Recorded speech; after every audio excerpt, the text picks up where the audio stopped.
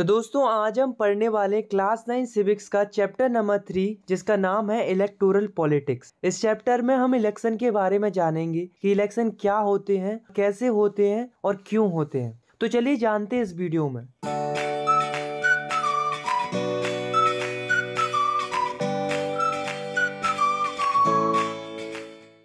तो दोस्तों चैप्टर की शुरुआत होती है हरियाणा से। 1987 में हरियाणा असेंबली के इलेक्शन चल रहे थे। इस इलेक्शन में दो पार्टी आमने सामने खड़ी हुई। पहली थी कांग्रेस पार्टी जो कि पिछले पाँच सालों से रूल करते हुए आ रही थी। और दूसरी थी लोक दल, जिसके लीडर थे चौधरी देवीलाल जी। इन्होंने कांग्रेस के अपोजिशन में खड़े होकर न्याय युद्ध किया, जिसका मतलब होता है स्ट्रगल फॉर जस्टिस इसके अलावा इन्होंने लोगों से प्रॉमिस किया कि अगर उनकी पार्टी इलेक्शन में जीतती है तो वे सारे किसानों की लोन माफ़ कर देंगे। लोग कांग्रेस से परेशान थे और चौधरी देवीलाल जी के आइडिया से काफ़ी ज़्यादा अट्रैक्टेड थे। इसलिए जब वोटिंग हुई, तब लोगों ने लोक दल को काफ़ी ज़्यादा वोट किया। इनफैक्ट हरियाणा असेंबली में जब 90 सीट्स थी, उसमें से 76 सीट्स तो लोकदल और उसके अलायंस को मिलती हैं, जिसमें से 60 सीट्स तो अकेली लोकदल की ही थी, जिसकी वजह से लोकदल इलेक्शन जीत जाती है। इलेक्शन जीतने के बाद चौधरी देवी लाल जी हरियाणा के नए चीफ मिनिस्टर बनते हैं और चीफ मिनिस्टर बनने के बाद वे सारे किसानों की लोन माफ़ कर देते हैं।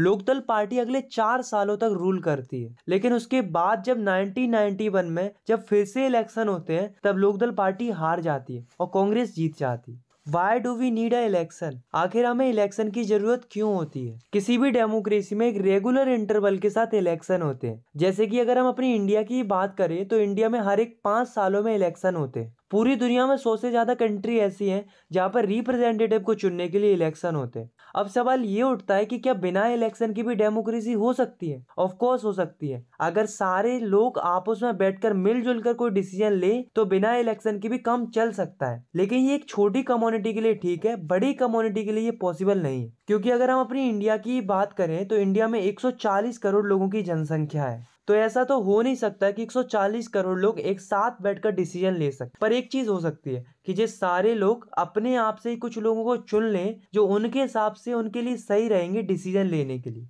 पर इसमें भी एक प्रॉब्लम है कि बिना इलेक्शन के इतने सारे लोगों में से अच्छे लीडर चुने कैसे?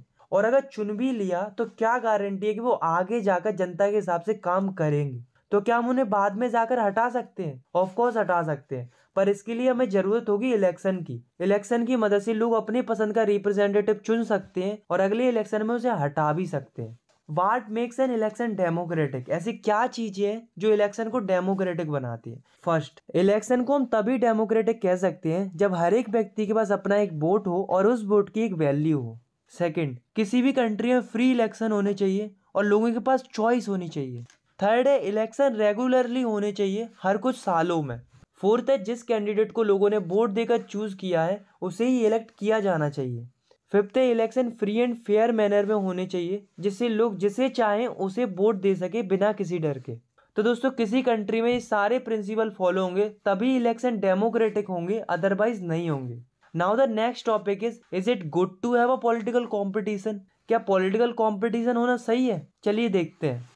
अब आप खुद ही सोचो कि अगर पॉलिटिकल पार्टीज़ के बीच में कंपटीशन नहीं होगा तो इलेक्शन की कोई वैल्यू ही नहीं रहेगी। अगर घोड़ों की रेस में एक ही घोड़ा दौड़ेगा तो ऑब्वियस सी बात है फ़र्स्ट भी वही आएगा। इसलिए कंपटीशन होना ज़रूरी है, क्योंकि कंपटीशन होगा, तभी तो बेस्ट का पता चलेगा। लेकिन पॉलिटिकल कंपटीशन होने से कई सारे नुकसान भी है। पॉलिटिकल कंपटीशन के चलते लोगों के बीच में डिवीज़न होता है। इसके अलावा पार्टीज़ एक दूसरे पर आरोप लगाती हैं और कई सारी डर्टी ट्रिक्स का इस्तेमाल करती हैं इलेक्शन को जीतने के लिए। इसकी वजह से समाज और देश के अच्छे लोग जो वास्तव में लोगों के लिए अच्छा करना चाहते हैं, वो इन्हीं कारणों की वजह से इलेक्शन में नहीं उतरते। हमारे कॉन्स्टिट्यूशन मेकर्स को ये बातें पहले से पता थी। फिर भी उन्होंने लॉन्ग टाइम विजन को ध्यान में रखकर फ्री कंपटीशन को ही चूज़ किया। उन्होंने ऐसा इसलिए किया क्योंकि उन्हें पता था कि आने वाले समय में यही व्यवस्था बेहतर काम करेगी। पर आजकल के नेता लोगों की सेवा के लिए नहीं बनते हैं, बल्कि वे बड़ी से बड़ी कुर्सी और ज़्यादा से ज़्यादा अधिकार पाने के लिए इलेक्शन लड़ते हैं। तो इससे बचने के लिए पॉलिटिकल कंपटीशन होना बहुत ही ज़्यादा ज़रूरी है, क्योंकि नेता जानते हैं कि उन्होंने अगर लोगों की इच्छा के अनुसार काम किया, तब तो उनकी लोकप्रियता बढ़ेगी और अगले चुनाव में उनकी जीत की संभावना भी बढ़ेगी। और अगर उन्होंने जनता के हिसाब से काम नहीं किया या फिर जनता को असंतुष्ट किया तो वे अगला इलेक्शन नहीं जीत पाएँगे। इस तरह यदि कोई पॉलिटिकल पार्टी केवल सत्ता में आने की इच्छा से ही आगे आई है तो अभी उसे मजबूरन जनता की सेवा करनी होगी। नहीं तो लोग अगले इलेक्शन में उसकी पार्टी को छोड़कर किसी दूसरी पार्टी को वोट देकर उसे पावर में लाएँगे। What is our system of election इस टॉपिक में हम पढ़ेंगे कि इंडिया में इलेक्शन किस टाइप से होते हैं। तो इंडिया में दो तरह के इलेक्शन होते हैं, एक लोकसभा के लिए और दूसरे विधानसभा के लिए। लोकसभा के इलेक्शन सेंट्रल लेवल पर होते हैं, जिसकी मदद से प्राइम मिनिस्टर को चुना जाता है। और विधानसभा के इलेक्शन स्टेट लेवल पर होते हैं, जिससे चीफ मिनिस्टर को चुना जाता है। और ये दोनों ही इलेक्शन हर एक पाँच सालों के अंतराल में होते हैं, और इन्हीं इलेक्शंस को हम जनरल इलेक्शन बोलते हैं। पर कभी कभी ऐसा होता है कि किसी कंस्टिट्यूएंसी में वैकेंसी खाली हो जाती है, किसी रिप्रेजेंटेटिव की डेथ की वजह से, या फिर उसने रिजाइन दे दिया इस वजह से। तो उसी वैकेंट पोस्ट के लिए कॉन्स्टिट्यूएंसी में फिर से इलेक्शन होता है किसी नए रिप्रेजेंटेटिव को चुनने के लिए। इस इलेक्शन को बाय इलेक्शन बोलते हैं। तो पहले तो हम ये समझ लेते हैं कि आखिर इलेक्टोरल कॉन्स्टिट्यूएंसी क्या होती है। तो कॉन्स्टिट्यूएंसी का सीधा सा मतलब एरिया से है। जैसे कि लोकसभा इलेक्शन के लिए इंडिया को 543 कॉन्स्टिट्यूएंसी में डिवाइड करके रखा है। और हर एक कॉन्स्टिट्यूएंसी के अंदर से एक एक रिप्रेजेंटेटिव को इलेक्ट किया जाता है। ऐसे करके पूरी इंडिया की 543 कॉन्स्टिट्यूएंसी से 543 रिप्रेजेंटेटिव इलेक्ट होते हैं। जिन्हें हम मेंबर ऑफ़ पार्लियामेंट यानी कि एमपी कहते हैं। और इन सारी कॉन्स्टिट्यूएंसी में पॉपुलेशन लेवल लगभग बराबर रहता है। सिमिलरली जो विधानसभा के इलेक्शन होते हैं, उसके लिए स्टेट्स को अलग अलग कॉन्स्टिट्यूएंसी में बांटा गया है। और इन कॉन्स्टिट्यूएंसी से जो रिप्रेजेंटेटिव इलेक्ट होकर आए होते हैं, उन्हें मेंबर ऑफ़ लेजिस्लेटिव असेंबली कहते हैं, यानी कि एमएलए कहते हैं। इसके अलावा जो लोकल इलेक्शन भी होते हैं, जैसे कि पंचायत और नगर पालिका के तो उनमें भी यही तरीका अपनाया जाता है, जिसमें विलेज और सिटी को अलग अलग वार्ड में बांट दिया जाता है। और प्रत्येक वार्ड के लिए एक एक मेंबर इलेक्ट होता है। Now we talk about reserve constituency तो दोस्तों, जो हमारे कॉन्स्टिट्यूशन मेकर्स थे, उन्होंने रिज़र्व कॉन्स्टिट्यूएंसी का सिस्टम बनाया। मतलब जो समाज के बीकर सेक्शन के लोग हैं, जैसे कि एससी और एसटी कैटेगरी के लोग, उनके लिए सीट्स रिज़र्व की गई हैं। मतलब अगर कोई कॉन्स्टिट्यूएंसी एससी कैंडिडेट के लिए रिज़र्व की गई है तो उस कॉन्स्टिट्यूएंसी से केवल एससी कैटेगरी का एक कैंडिडेट इलेक्शन लड़ सकता है। और अगर कोई कॉन्स्टिट्यूएंसी एसटी कैंडिडेट के लिए रिज़र्व की गई है तो वहाँ से केवल एसटी कैटेगरी का ही कैंडिडेट इलेक्शन में खड़ा हो सकता है। तो जी जो रिज़र्व कॉन्स्टिट्यूएंसी का सिस्टम है, उसे हमारे कॉन्स्टिट्यूशन मेकर्स ने इसलिए इंक्लूड किया ताकि जो पिछड़े लोग हैं, वो आगे आ पाए और वो भी इलेक्शन लड़ पाए। क्योंकि ऐसे लोगों के पास ना ही रिसोर्सेस होती है और ना ही एजुकेशन होती है और ना ही इनका किसी से कांटेक्ट होता है। तो ऐसे में इनका जीतना तो लगभग इम्पॉसिबल हो जाता है। तो इसके लिए रिज़र्व कॉन्स्टिट्यूएंसी का सिस्टम इंट्रोड्यूस किया गया ताकि पावरफुल लोग ही हमेशा इलेक्शन ना जीतते रहे। बीकर सेक्शन के लोगों को ही बराबर मौका मिले इलेक्शन जीतने का। तो अब हम बात करते हैं कि कितनी कितनी सीटें रिज़र्व की गई हैं एससी और एसटी कैटेगरी के कैंडिडेट्स के लिए। तो 2012 की रिपोर्ट के अनुसार लोकसभा के लिए 84 सीट्स एससी कैटेगरी के लिए रिज़र्व की गई हैं और 47 सीट्स एसटी कैटेगरी के लिए रिज़र्व की गई हैं। ये रिज़र्व सीट का सिस्टम बाद में जाकर डिस्ट्रिक्ट और लोकल लेवल पर भी शुरू कर दिया गया। इसके अलावा रूरल और अर्बन लोकल गवर्नमेंट होती है, उनमें वुमेन्स के लिए भी वन थर्ड सीट रिज़र्व की गई है, ताकि वुमेन्स को भी मौका मिल सके इलेक्शन लड़ने का। Now the next topic is voter list तो दोस्तों, अभी तक हमने ये जाना की हर एक कॉन्स्टिट्यूएंसी में रिप्रेजेंटेटिव को इलेक्ट करने के लिए इलेक्शन होते हैं, पर अब पता कैसे चलेगा की उस कॉन्स्टिट्यूएंसी से वोट कौन डाल सकते हैं और कौन वोट नहीं डाल सकते। तो इसके लिए हमारी गवर्नमेंट पर्टिकुलर कॉन्स्टिट्यूएंसी के लिए वोटर लिस्ट जारी करती है, जिसे हम ऑफिशियली इलेक्टोरल रोल कहते हैं। इस वोटर लिस्ट में उन सारे लोगों के नाम होते हैं, जो आने वाले इलेक्शन में वोट डाल सकते हैं। हमारी इंडिया के अंदर यूनिवर्सल अडल्ट फ्रेंचाइजी है, जिसके मुताबिक हर एक व्यक्ति के पास अधिकार है वोट डालने का। बसरते उसकी उम्र 18 या उससे ज़्यादा होनी चाहिए। कुछ ही लोग वोट नहीं डाल सकते, जैसे कि जो क्रिमिनल होते हैं और जो अनसाउंड माइंड के लोग होते हैं, वो वोट नहीं डाल सकते। बाकी सारे लोग वोट डाल सकते हैं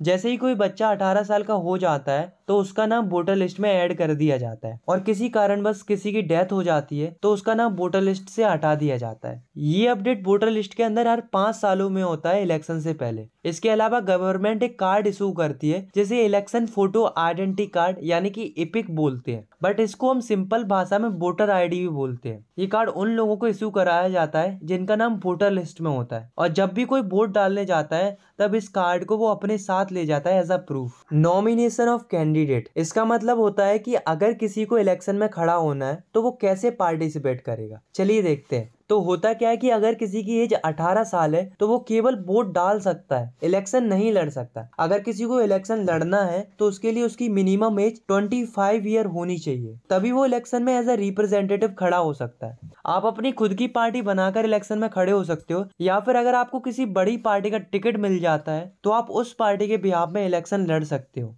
इलेक्शन लड़ने के लिए कैंडिडेट को एक नॉमिनेशन फॉर्म भरना होता है, जिसमें कैंडिडेट को अपनी सारी जानकारी भरनी होती है। इसके साथ साथ उसको कुछ स्पेसिफिक अमाउंट भी पे करनी पड़ती है as a security deposit supreme court ने कुछ चीज़ें कंपलसरी कर दी हैं, जैसे कि जो भी कैंडिडेट इलेक्शन लड़ेगा, उसको अपने बारे में बहुत सी चीज़ें डिस्क्लोज करनी पड़ेंगी। जैसे कि उसकी एजुकेशन क्वालिफिकेशन क्या है, उसके पास प्रॉपर्टी कितनी है, उसके ऊपर कोई क्रिमिनल केस पेंडिंग तो नहीं है। इन सब चीज़ों को वेरीफाई किया जाता है, और कैंडिडेट की ये सारी जानकारी लोगों के बीचों ओपन कर दी जाती, ताकि वोटर्स को पता रहे कि वो किस टाइप के कैंडिडेट को वोट दे रहे हैं। इलेक्शन कैंपेन अब दोस्तों, ऐसा तो हो नहीं सकता कि इलेक्शन हो और कोई पार्टी और कैंडिडेट अपना प्रचार प्रसार ना करे। जैसा कि आप इन पिक्चर्स में देख सकते हो कि कई सारी पार्टी रैली करती हैं पब्लिक मीटिंग करती हैं इंटरव्यू होते हैं टेलीविज़न पर एडवर्टाइजमेंट होते हैं। ये क्यों होते हैं? ताकि रिप्रेजेंटेटिव या कैंडिडेट अपने बारे में जनता को बता सके। और डिस्कशन कर सके लोगों से। इसके लिए इलेक्शन कमीशन दो हफ्तों का टाइम देता है। इन दो हफ्तों में कैंडिडेट लोगों से कई सारे वादे करते हैं और कई सारे ऐसे इशूज पर फोकस करते हैं जिनसे उनको ज़्यादा वोट मिल सकते हैं।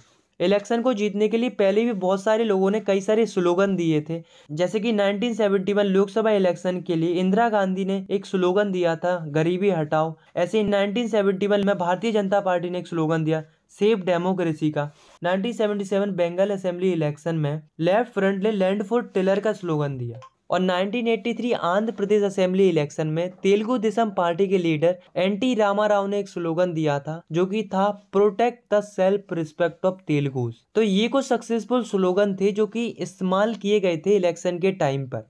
अब दोस्तों, हम बात करते हैं ऐसी क्या चीज़ें हैं, जो पॉलिटिकल पार्टी और कैंडिडेट अपने इलेक्शन कैंपेन के दौरान इस्तेमाल नहीं कर सकते।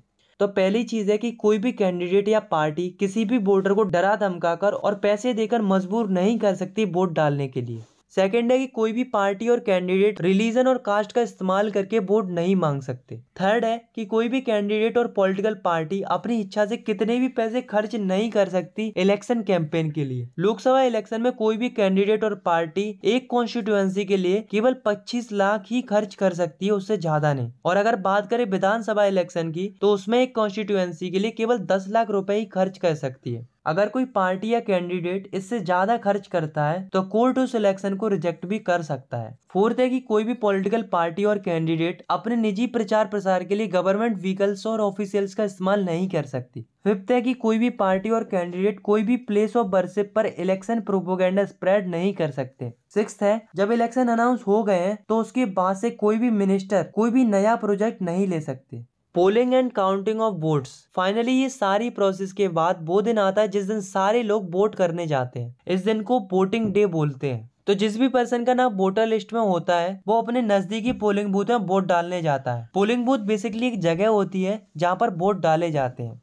तो जैसे ही कोई व्यक्ति पोलिंग बूथ में एंट्री करता है तो सबसे पहले जो इलेक्शन ऑफिसर्स होते हैं, वो उस व्यक्ति का आइडेंटिफिकेशन करते हैं। उसके बाद उसकी फिंगर पर मार्क लगाया जाता है। देन उससे बोला जाता है वोट डालने को। सभी कैंडिडेट पोलिंग बूथ के अंदर अपने अपने भरोसेमंद एजेंट बैठा देते हैं, जिससे वे देख सके कि चुनाव ठीक ढंग से हो रहा है या नहीं। पहले के टाइम पर जो लोग वोट डालने आते थे तो उनको एक पेपर दिया जाता था, जिसमें सारे कैंडिडेट के नाम और पार्टी सिंबल बने रहते थे। तो वोटर को जिस भी कैंडिडेट को वोट देना होता था तो वो उसके सामने सील लगाकर एक पेटी में डाल देता था। पर इसमें एक समस्या आती थी कि जो कम पढ़े लिखे लोग होते थे, वो कुछ इस तरीके की सील लगा देते थे। अब यही समझना मुश्किल हो जाता था कि वोटर ने वोट किसको दिया है? ऊपर वाले को कि नीचे वाले को? और कई बार तो ऐसा भी होता था कि वोटर एक ही पेपर पर चार चार सील लगा देता था। तो ऐसे में उन वोटों को बाद में जाकर निरस्त करना पड़ता था। पर अब ऐसा नहीं होता है, क्योंकि आज के टाइम पर इंडिया में इलेक्शन के लिए ईवीएम मशीन का इस्तेमाल किया जाता है, यानी कि इलेक्ट्रॉनिक वोटिंग मशीन का। इस मशीन पर सारे कैंडिडेट्स के नाम और पार्टी सिंबल बने हुए होते हैं तो अब जिस भी वोटर को, जिस भी कैंडिडेट को वोट करना होता तो उसे बस उसके सामने वाला बटन दबाना होता है। सिमिलरली इसी प्रोसेस से सारे लोग वोट करते हैं। अब जैसे ही ये वोटिंग कंप्लीट हो जाती है तो इन सारे ईवीएम को सील करके एक सुरक्षित जगह पर रख दिया जाता है। कुछ दिनों के बाद एक फिक्स डेट पर इन सारे ईवीएम को खोला जाता है और किस कैंडिडेट को कितने वोट मिले हैं, इसके लिए काउंटिंग शुरू होती है। और जब काउंटिंग चल रही होती है तो वहाँ पर भी कैंडिडेट के एजेंट रहते हैं। ये चेक करने के लिए कि काउंटिंग सही ढंग से हो रही है या नहीं हो रही है। जब काउंटिंग कंप्लीट हो जाती है तो इलेक्शन के रिज़ल्ट आते हैं। और जिस भी कैंडिडेट को ज़्यादा वोट मिलते हैं, वो इलेक्शन जीत जाता है। What makes election in India democratic ऐसी क्या चीज़ें हैं जो इंडिया के इलेक्शन को डेमोक्रेटिक बनाती हैं? पहली चीज़ तो यही है कि जो हमारी इंडिया है, उसके अंदर जो इलेक्शन होते हैं, उसे एक इंडिपेंडेंट बॉडी कंडक्ट कराती है, जो कि है election commission of India India के इलेक्शन कमीशन को बहुत पावर दी गई है। इलेक्शन कमीशन अपना डिसीज़न खुद ले सकती है। उन्हें किसी को भी जवाब नहीं देना होता है। और अगर कोई कैंडिडेट और पार्टी को इलेक्शन कमीशन का डिसीज़न अच्छा नहीं लगता है तो अभी कोई कुछ नहीं कर सकता। इंडिया के इलेक्शन कमीशन को जितनी पावर मिली है, शायद ही किसी देश के इलेक्शन कमीशन को इतनी पावर मिली होगी। सेकेंड है पॉपुलर पार्टिसिपेशन इंडिया में क्या देखने को मिलता है कि जो इंडिया के लोग हैं, वो बहुत ही ज़्यादा पार्टिसिपेट करते हैं इलेक्शन के अंदर. अगर हम इंडिया के वोटर्स टर्नआउट फिगर की बात करें मतलब जितने लोग वोट कर सकते हैं, उनमें से कितने लोग एक्चुअली में वोट करने आए हैं? तो हमारे इंडिया में ये परसेंटेज बढ़ ही रहा है, कम नहीं हो रहा है। वही जो अदर यूरोपियन कंट्रीज़ हैं, उनमें ये देखने को मिला है कि उनका वोटिंग ग्राफ नीचे जा रहा है। अगर हम पर्टिकुलर इंडिया की बात करें तो इंडिया में ऐसे लोग ज़्यादा वोट करने आते हैं, जो गरीब होते हैं और जो कम पढ़े लिखे होते हैं। वही जो रिच लोग होते हैं, वो थोड़ा कम पार्टिसिपेट करते हैं इलेक्शन में, मगर करते हैं। बट अगर ओवरऑल देखा जाए तो इंडिया की most of the population election के टाइम पर वोट करने जाती है। और यही चीज़ शो करती है कि लोग इलेक्शन के प्रति कितने ज़्यादा इंटरेस्टेड है, क्योंकि उन्हें पता है कि उनके वोट की एक वैल्यू है। अगर उन्होंने वोट डाला है तो उनका वोट व्यर्थ नहीं जाएगा। ऐसा लोग मानते हैं। और यही चीज़ हमारे इलेक्शन को और भी ज़्यादा डेमोक्रेटिक बनाती है। एक और चीज़ है जो हमारे इलेक्शन को डेमोक्रेटिक बनाती है, वो है कि जो इलेक्शन के रिज़ल्ट आते हैं उसे सारी कंट्री एक्सेप्ट करती है, चाहे वो अपोजिशन पार्टी हो और चाहे वो आम नागरिक हो। तो ये सारी चीज़ें हमारी इंडिया के इलेक्शंस को डेमोक्रेटिक बनाती है। Challenges to free and fair election तो यहाँ तक हमने जितना भी पढ़ा है, उससे हमें ये पता चलता है कि इंडिया में जो इलेक्शन होते हैं, वो फ्री एंड फेयर मैनर में होते हैं। तो क्या वास्तव में हमारे election free and fair manner में होते हैं? होते हैं। बट कोई भी चीज़ हंड्रेड परसेंट परफेक्ट नहीं हो सकती। थोड़ी बहुत कमियाँ तो ज़रूर होती हैं। ऐसे ही हमारे इलेक्शंस के अंदर भी कुछ कमियाँ हैं। तो चलिए उनको एक एक करके डिस्कस करते हैं। तो फ़र्स्ट प्रॉब्लम है कि जिस भी कैंडिडेट के पास ज़्यादा पैसे होते हैं, उसे थोड़ा ज़्यादा एडवांटेज रहता है इलेक्शन जीतने का। मैं ये नहीं कह रहा हूँ कि वो इलेक्शन जीत ही जाएगा। इलेक्शन अदर कैंडिडेट्स भी जीत सकते हैं बट थोड़ा एडवांटेज ज़्यादा रहता है जिसके पास पैसे ज़्यादा रहते हैं। सेकेंड है, ज़्यादातर पॉलिटिकल पार्टी ऐसे लोगों को टिकट अलॉट करती है, जिनका क्रिमिनल बैकग्राउंड रहता है। थर्ड है कि कई सारी पॉलिटिकल पार्टीज़ के अंदर ऐसा देखने को मिलता है, जिसमें एक ही परिवार के मेंबर रूल करते हुए आ रहे होते हैं। एक तरफ़ से सबको टिकट मिले हुए होते हैं। फोर्थ है इंडिया के अंदर जितनी भी पॉलिटिकल पार्टीज़ हैं, उनकी आइडियोलॉजी और काम करने का तरीका लगभग एक ही जैसा है। किसी भी पार्टी में कोई भी मेजर डिफरेंस नहीं है। तो ऐसे में लोगों के पास एक्चुअल में कोई चॉइस नहीं होती है। लास्ट है कि जो छोटी पार्टीज़ होती है और जो इंडिपेंडेंट कैंडिडेट्स होते हैं, उन्हें बड़ी पार्टीज़ ऊपर नहीं आने देती, जिसकी वजह से छोटी पार्टीज़ और इंडिपेंडेंट कैंडिडेट्स को मौका नहीं मिल पाता है। तो ये कुछ चैलेंजेस है जो की फ्री एंड फेयर इलेक्शन में देखने को मिलते हैं। तो दोस्तों, इन चैलेंजेस को देखकर आप लोग ये मत समझना की इंडिया के इलेक्शन सही नहीं नहीं है। मानते हैं थोड़ी बहुत कमियाँ हैं, पर इसका मतलब ये नहीं है कि इंडिया के इलेक्शन डेमोक्रेटिक ही ना रहे। और वैसे भी अगर हम कंपेयर करें अदर कंट्रीज़ से तो हमें पता चलता है कि हमारे इलेक्शन औरों के कंपैरिजन में बहुत अच्छे हैं। आई होप आपको ये वीडियो पसंद आई होगी। अगर आपको ये वीडियो पसंद आई तो आप इस वीडियो को लाइक कर सकते हो, और चाहो तो आप इस चैनल को सब्सक्राइब भी कर सकते हो, ऐसी क्लास नाइन की वीडियो आगे देखने तब तक के लिए टेक केयर मिलते हैं नेक्स्ट वीडियो